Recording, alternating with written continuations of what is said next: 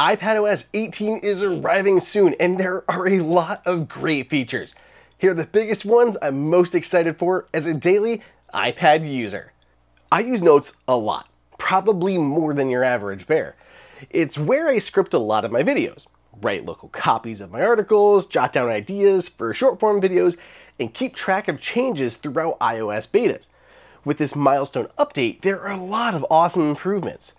To start, when you handwrite a note with Apple Pencil, a new feature called Smart Script will automatically adjust it. It's kinda crazy. It uses on-device machine learning models to mimic your handwriting, but make it a lot more legible, so your lines across will be straight. I got to see a demo of this and holy smokes is it insanely cool.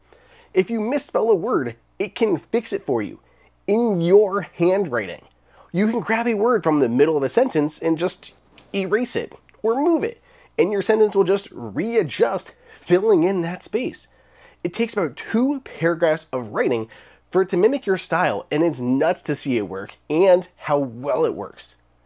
You can also finally add audio recordings to your notes. It will record the audio in your note, transcribing it in real time. Then it will give you a short summary afterwards. This is all searchable too, which makes finding stuff uber easy. The last big thing here is that you can collapse sections. I usually keep a running note for each Apple software release. Now I can have collapsible sections for each beta that comes out and any changes that I find. Something you may not know about me is that I do a lot of woodworking. So I do a lot of like sketching and back of my hand math on my iPads. I've usually got one up in the woodshop with me where I design my projects with Apple Pencil. So the new Math Notes feature has me pretty stoked. You can just write down a math problem or conversion and it will do it on the fly as soon as you write or type an equal sign. More impressive, you can use variables too. If I'm designing a box and I want to make these sides out of a single piece of wood so the grain wraps around, I can assign a variable to each side as I'm sketching. Then just write an equation adding up all of those variables. As I adjust them, the answer will compute in real time. And if you happen to be writing an equation, Math Notes can graph it, with at least some limitations. No bar charts or anything like that, though I hope they would consider adding them in the future. This works here in Notes, but also in the all new Calculator app. Yes, it's happened. Let me know in the comments, by the way, were you waiting for the calculator app on the iPad, or did you just move on with any of the third-party ones? So Calculator supports those math notes, but has full basic and scientific calculators too. And it's been lovingly designed here for the iPad. There's been a lot of back and forth on why Apple never brought the calculator app to iPad before. Personally, I think it's because there was no need for just a basic app. There were those thousands on the App Store. They only wanted to do this when it made sense. Adding math notes to notes and syncing them with a dedicated calculator or scientific app did make sense for a unique experience. So we have it now. It doesn't hurt that it was an easy upsell for Apple Pencil either. This next feature, I'm sure I'm going to end up using all the time. Let's pause for a second. I gotta thank my sponsor for this video, ESR. If you've got an iPhone, you, you probably need to charge it at some point. And if you know anything about me, you know that I love MagSafe and Qi 2 chargers, and ESR has a pair of new ones that I am totally stoked to show you. This is the ESR Qi 2 3-in-1 travel wireless charger. When it's folded, it's barely thicker than my iPhone. And when you open it up, you have a Qi 2 charger right there on the front that'll give you 15 watts of wireless power. Then around back, you'll find a little pedestal for your AirPods or other Qi device to charge, and the USB-C port where you can plug in that Apple Watch charger. By the way, this supports Apple certified fast charging, which means you can charge an Apple Watch Ultra to 100% in an hour and 40 minutes, which is four and a half times faster than other two and a half watt chargers. Since it can be used as a stand, it works great for standby mode too. See your little alarm clock, see widgets, or just watch a video. This is the ESR Qi 2 mini wireless charger. It magnetically connects to the back of your iPhone, has an integrated braided USB-C cable with even a metal cover on the end of it. This will charge your iPhone at up to 15 watts of power, which is the maximum wireless charging for your iPhone 12, 13, 14, or 15. That 15 watts is super quick. Since it is Qi 2 certified, you can charge your iPhone 15 Pro Max to 85% in just two hours, which is twice as fast as a standard 7.5 watt charger. Not only do these have great quality, but they're also really affordable. If you want to check any of them out, there's links for them down below in the description. Thanks again to ESR for sponsoring this video. When you mirror someone else's iPad screen through SharePlay, now you're able to interact with it. I can tap or draw to help show someone what to do. Don't worry, Grams, I'll help you figure out how to watch Ted Lasso again. And if tapping and drawing isn't enough, you can request full access to control their device for them too. In the Files app, two big changes. First, you can finally format external drives, including multiple formats such as exFAT or APFS.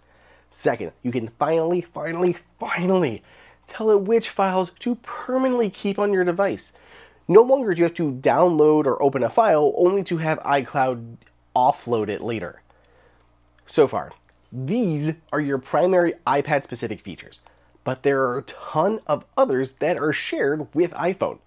Nearly all the features found in iOS 18 are also here on iPadOS 18. If you want a super deep dive on all of those, check out my other video that I've linked here. Otherwise, uh, at least hit them from a high level for the sake of completeness. Your home screen is getting a redesign. Apps and widgets can be placed anywhere, and you can have multiple ones for just different pages. Apple has new dark icons for its native apps, and third-party apps are getting those too. There's also a new larger icon set that gets rid of the labels below them. App icons can be tinted to match your style or your wallpaper. Finally, you can both lock apps behind Face ID, Touch ID, or hide them in a dedicated folder in the app library. Control Center has been refreshed with a new organization system that split in, splits it into multiple pages. First will be your favorites, followed by other dedicated pages for home, media, and connectivity. Controls will be coming from third-party apps too to make it even more powerful. We have an Apple made passwords app now. This is basically the iCloud's passwords we had before, just pulled out and built into its own app. It can save all of your website or Wi-Fi passwords and will alert you if some of your accounts have been compromised. Inside of messages, there are a lot of changes. You can schedule messages to be sent later at your preferred time. Long time coming, might I add. Text can be styled with italics, bold, strike through, plus there are new animations. Make your emoji jump up and down or make your text wiggle. And tapback can be done using any emoji. Game mode comes to iPhone and iPad. This will maximize your device's performance and reduce background tasks. At the same time, it helps reduce latency for your AirPods or wireless gaming controllers. I've been playing a lot of Assassin's Creed on my iPad, so I'm pretty excited to have this. And then the Photos app, it's been redesigned too. This has been more controversial though. Lots of users on social media have been torn. I like the look of it, but we'll see if Apple changes course by the time that it releases. The only thing that I didn't go into much so far or mention so far is Apple Intelligence. Apple Intelligence will be coming to all M series iPads. That's the recent iPad Airs and iPad Pros. It has far-reaching features from removing distractions in photos, a much more powerful Siri that can integrate with LLMs like ChatGPT, and it can intelligently help with your daily tasks like organizing your inbox or prioritizing notifications. I'll have more on Apple Intelligence as it gets closer to release, but it's seriously worth getting excited about iPadOS 18 will be released this fall alongside iOS 18 and Apple's other major software platforms. Apple Intelligence will be launching as a beta when it does release this fall, and new features will be added over time. So what iPadOS features are you most excited to see? Let me know down below in the comments. Otherwise, be sure you are subscribed to the channel with those notifications turned on so you don't miss the latest videos and Apple news.